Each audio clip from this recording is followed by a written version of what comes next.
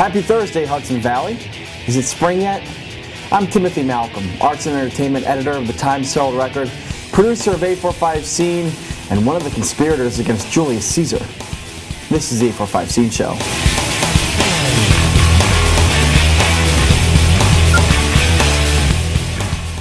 Yes, that's right. Tuesday is the 2055th anniversary of the death of Roman Emperor Julius Caesar. So, to celebrate the old dictator, we're going to feast like kings throughout the Hudson Valley. Hudson Valley Restaurant Week begins Monday with two weeks of specials at more than two dozen restaurants in Orange and Ulster counties, plus many more in the surrounding area. Whether a hearty dish in Warwick or a scrumptious dessert in New Paltz, there's plenty for the tummy. Yummy. Check out her story by food writer Kelly Kingman in Friday's Go section. Herb freelance. It's about the only way to make a buck down here in this city. Air Pirates Radio Theater is back, but this weekend the troupe is invading a new space, the Railroad Playhouse in Newburgh. Herb Marks freelance, it ain't over till the fat lady swings, and not all fortunes are found in cookies, will be performed at the Playhouse on Friday and Saturday nights, respectively. And Friday also marks the opening of Riddles Comedy Club in Chester, site of the former Boodles Opera House. Find out more about Riddles today on 845 Scene and check out a story Sunday in the Times Herald Record and some photos over the weekend at 845 Scene. Also coming up later on 845 Scene, a big announcement about one of the Hudson Valley summer music events.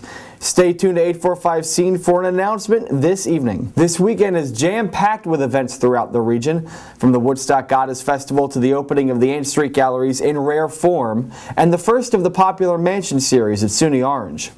But we're also looking a little ahead to next week, as St. Patrick's Day is just around the corner.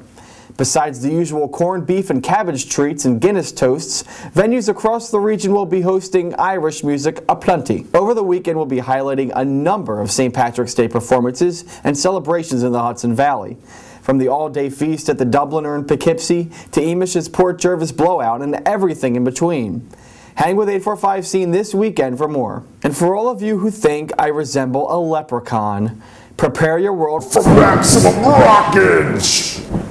Next week's 845 Scene Show will be like finding a pot of gold next to a box of Lucky Charms at the end of the rainbow and or cereal aisle.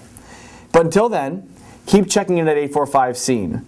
You can find us at 845scene.com, recordonline.com backslash 845scene, on Facebook at facebook.com backslash 845scene, and on Twitter at 845scene.